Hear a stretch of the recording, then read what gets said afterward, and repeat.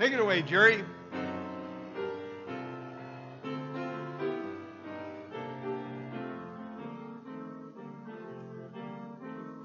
This little light of mine, I'm gonna let it shine. This little light of mine, I'm gonna let it shine. This little light of mine, I'm gonna let it shine. Let it shine, let it shine, let it shine. Oh, let's do that again. Here we go. This little light of mine, I'm gonna let it shine. This little light of mine, I'm gonna let it shine. This little light of mine, I'm gonna let it shine, let it shine, let it shine, let it shine. Take it away, Jerry.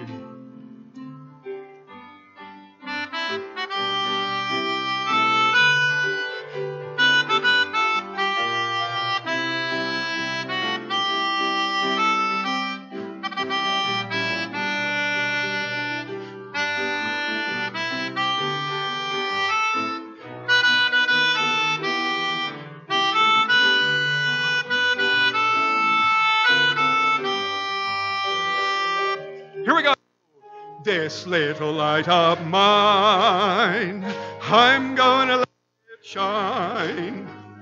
This little light of mine, I'm gonna let it shine.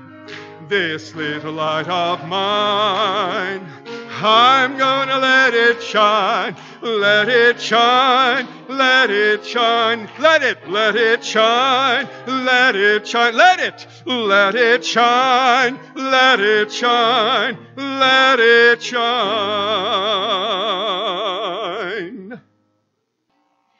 Good morning. I'm Laurie Holiday. I'll be your liturgist today. Welcome to Hillview. I have a couple of updates. You probably have seen, many of you, in the news that there is a new proposal for the United Methodist Church. And according to the newspapers, it's a done deal. It's not a done deal. That it was 16 people who came together. They were not authorized by anybody in the church to come together and to make this agreement, but it was bishops, a couple, a few bishops from other countries, the Philippines and Africa, and some from the Good News movement, some from the Reconciling movement, no one from the Western jurisdiction, and which we are part of. And those 16 people came up with this proposal. And the proposal would be that the conservative churches would be able to branch off, leave the United Methodist Church, and have a new denomination. We would still keep the name United Methodist and that they would be allowed, the ones breaking off, would be allowed to keep all of their own buildings, which is a big deal because you may be aware and you may not be aware, even our church property, all churches are owned by the annual conference. And so this is very gracious proposal. In addition to that, the group that's branching off that they estimate would be about 20% would receive $25 million, which I question. and so, the reason it's not a done deal is that there have been other proposals that have come forward also. And that the only body that can speak for the United Methodist Church is our General Conference. And we have a General Conference in May in Minneapolis. I'm making plans to be there as a volunteer so that I can report back what is happening during that time.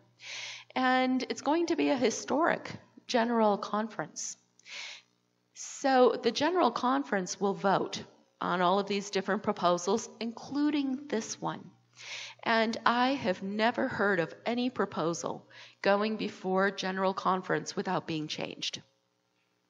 Also, the Judicial Council has yet to rule on the constitutionality of this proposal. So I just wanted to give you an update to tell you there's progress being made and that we are still going to be the United Methodist Church here. And it's not going to change who we are as a loving, reconciling congregation. But it's not yet a done deal.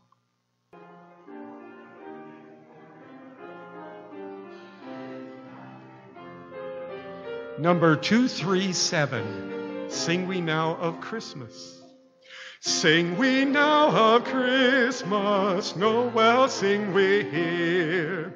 Hear our grateful praises to the babe so dear. Sing we Noel, the King is born Noel. Sing we now of Christmas, sing we now Noel. From the eastern country came the kings afar, bearing gifts to Bethlehem, guided by a star. Sing we Noel, the King is born Noel. Sing we now of Christmas, sing we now Noel. Gold and myrrh they took, their gifts of greatest price. There was ne'er a stable so like paradise. Sing we Noel, the King is born Noel. Sing we now of Christmas, sing we now Noel. And let us pray. Gracious God, today we thank you for making yourself known to us in Jesus Christ. Thank you for helping us to know your character, your glory, and your grace. All praise be to you, O God, because you have revealed yourself to us. All praise be to you, Lord Jesus, because you have shown us God, and because you have embodied divine grace so that we might receive it. All praise be to you, Holy Spirit, for helping us to live in that grace each day. Fill us afresh with your power, Spirit of God, so that we might share the good news of Christ with the world, beginning with our friends and neighbors. Amen. Let us pray. And we do have a prayer response. Next slide. Lord of light, hear our prayer. O Lord, there are many things that concern us and call us to prayer. We open our hearts to you in gratitude and wonder. We pray for those who rage and are quick to anger, for those who seem to be eaten up by intolerance. We pray for those who express their contempt and fury and violence to themselves and others. We grieve at those who have lost their lives to aggression due to fighting, war, criminal violence, and terrorism. We especially pray for peace to abide between our country and Iran. Lord of light, hear our prayer. Help us to see beyond the headlines, to stand up for the women and children, the families, the victims, those starving and displaced. We call out for your mercy.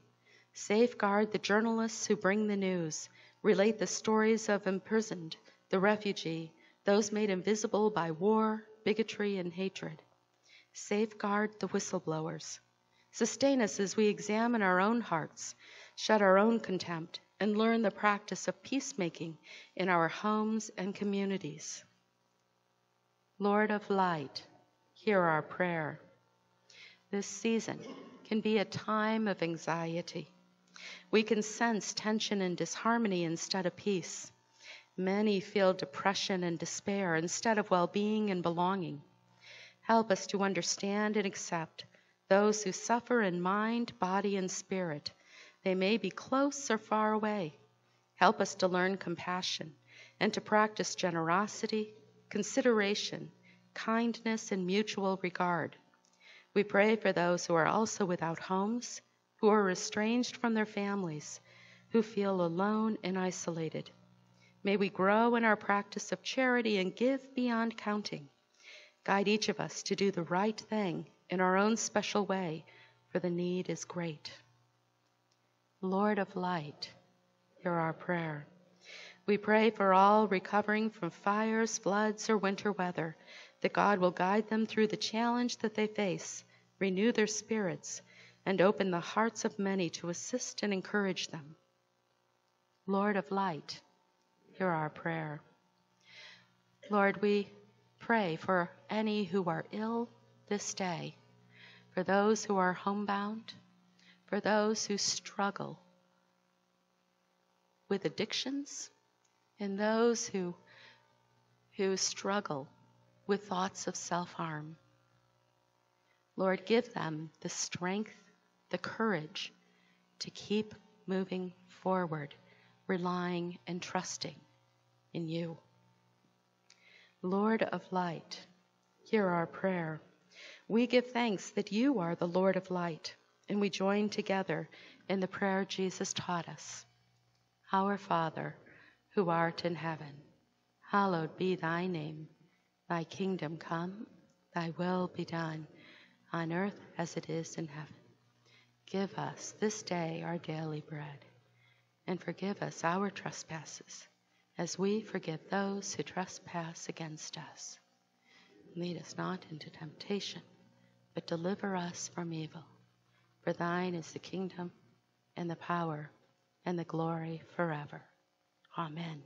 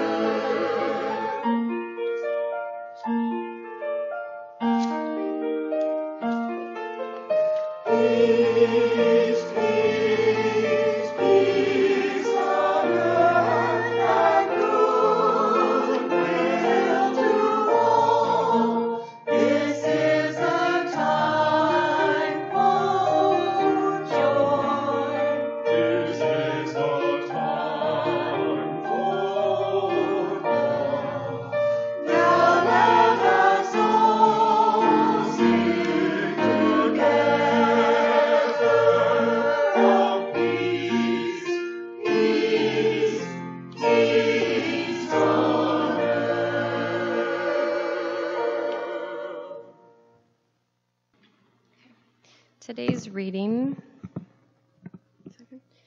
is from Matthew chapter 2, verses 1 through 12. In the time of King Herod, after Jesus was born in Bethlehem of Judea, wise men from the east of Jerusalem or came to Jerusalem asking, Where is the child who has been born king of the Jews? For we observed his star at its rising and have come to pay him homage.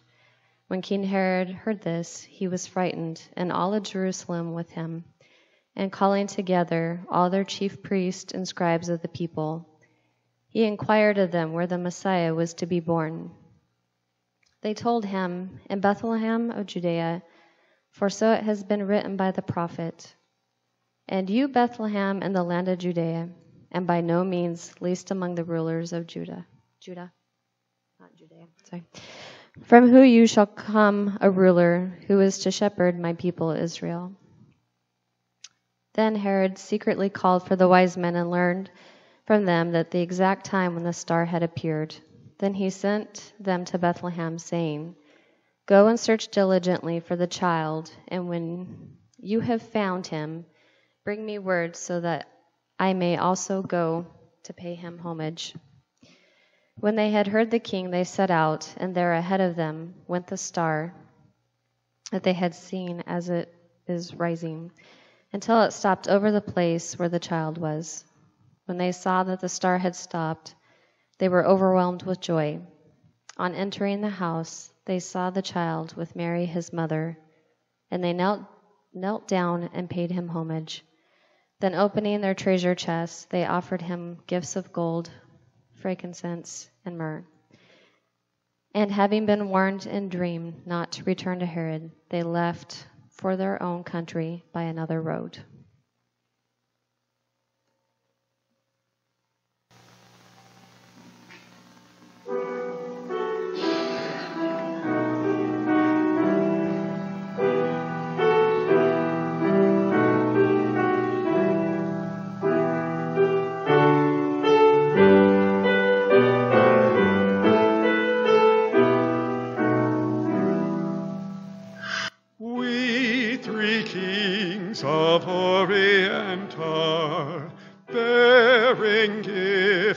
Traverse afar, field and fountain, moor and mountain, following yonder star. Oh,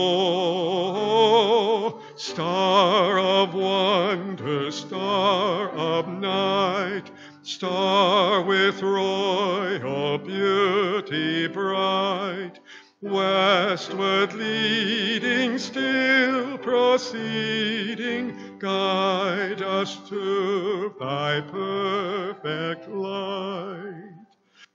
Glorious now, behold him arise, King and God and sacrifice.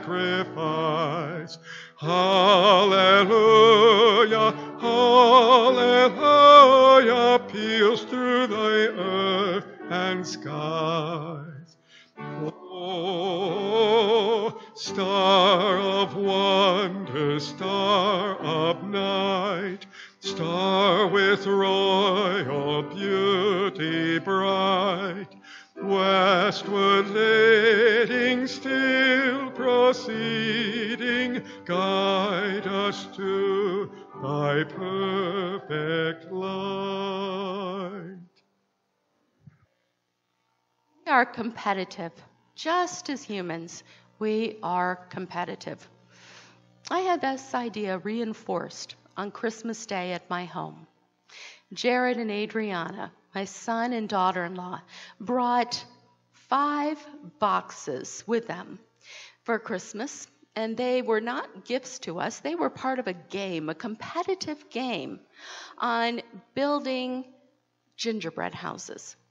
So each group of two were to build a gingerbread house in 10 minutes. And they asked me to be the judge of these gingerbread houses. It was Christmas Day. I did not want there to be winners and losers.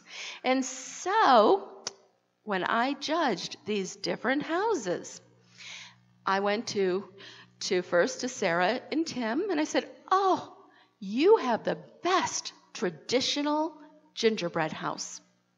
Then I went to Sean and Cameron. You have the best southwestern gingerbread house. I went to Jared and Adriana. You have the best mid century modern gingerbread house. And to Jennifer and Emily, and I said, You have the best gingerbread house with a significant sunroof. and then I went to Rita and Lynn and said, You have the best gingerbread house that didn't quite make it through an earthquake. my kids were not satisfied. It's like when they were young and they would ask me who my favorite was, and I'd say, But you're my favorite five year old. You're my favorite 10 year old. It just wasn't a good enough answer for them. And just as we are competitive that way and we want to know that we are right, we are the best, we've done the same thing to our faith and our religion. So, Epiphany, oh, the wise men, the magi's, were probably of what we consider to be one of the oldest, if not the oldest, religion, Zoroastrianism. And they were astrologers, astronomers. They followed the stars. They were not Jewish. They were of a completely different religion. And they went to follow the star to see this baby. And they brought gifts with them. And they were the first Gentiles, first non Jewish people to go and to worship the light. That is significant. But what is even more significant is that nowhere in this story were they told to convert. That the only way they could see the light of God, to see Jesus, was if they became the other religion. Isn't that amazing? So, Epiphany invites us to celebrate the many faces of God and the many ways God is revealed to us. But we like to think that we know the right answers, that our faith is the right faith. And yet, people can look at the very same thing and see something different. People can hear the very same word and hear something different.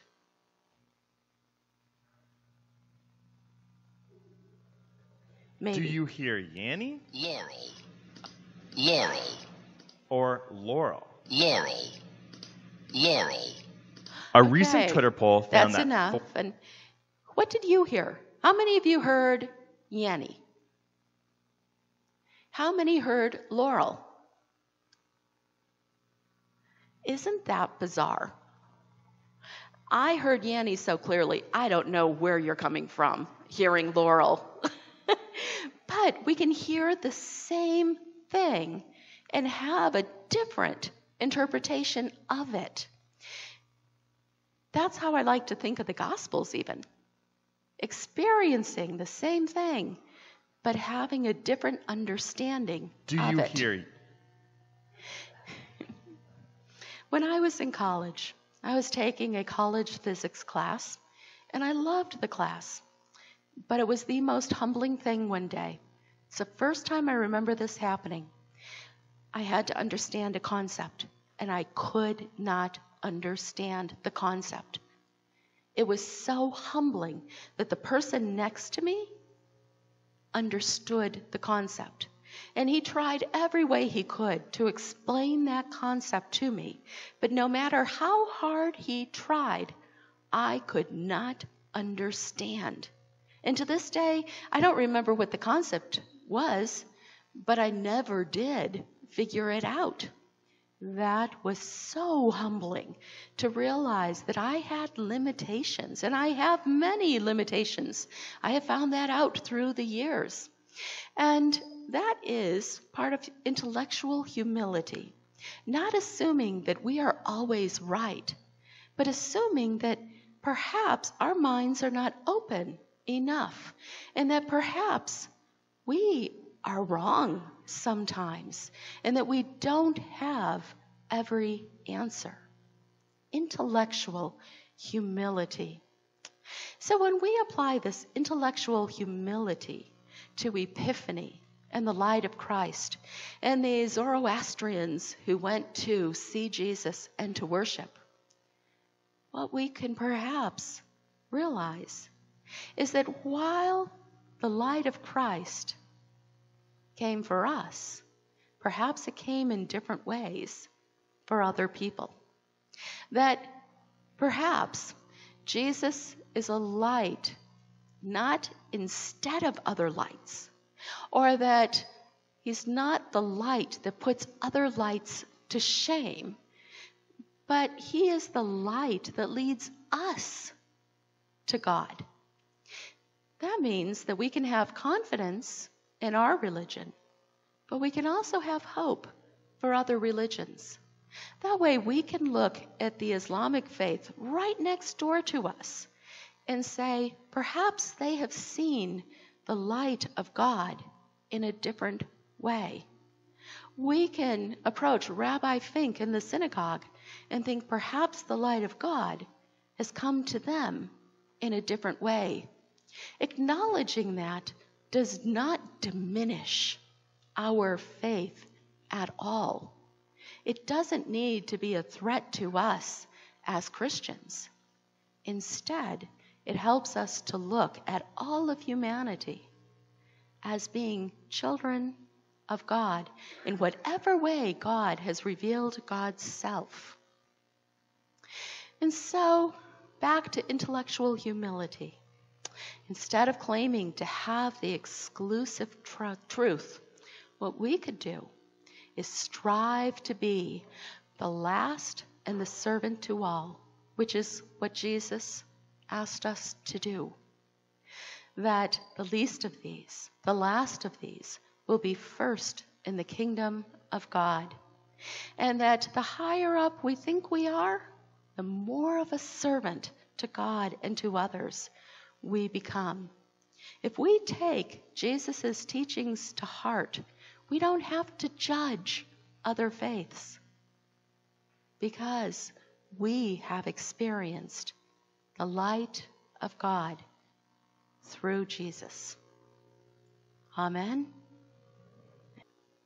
Let's stand and join together in our last hymn.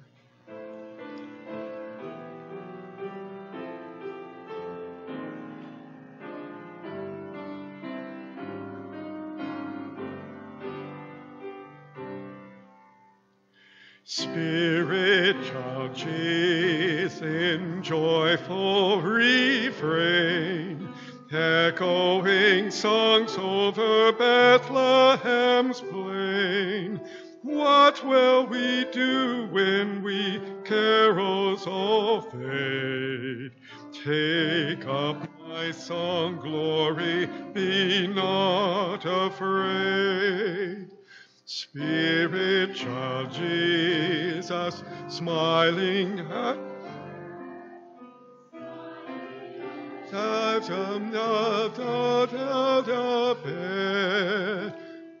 What will we do when the manger's away? Take up my story and live it each day. Spirit child Jesus in vigilant eyes, waiting the gift bearing love's great surprise. What will we do when the presents are done? Take up my presents, for I am God's Son. Spirit child Jesus in hot tongues of flame, melting the candle, a light in your name. What will we do when the candle is gone? Take up my light, pass it on, pass it on. I did it to you again. A closing hymn that you did not know. But those words were, I think, perfect for our last Sunday where we celebrate the birth of the Christ child. So go in peace with humility. And may the grace of our Lord Jesus Christ, the love of God, and the communion of the Holy Spirit be with you all.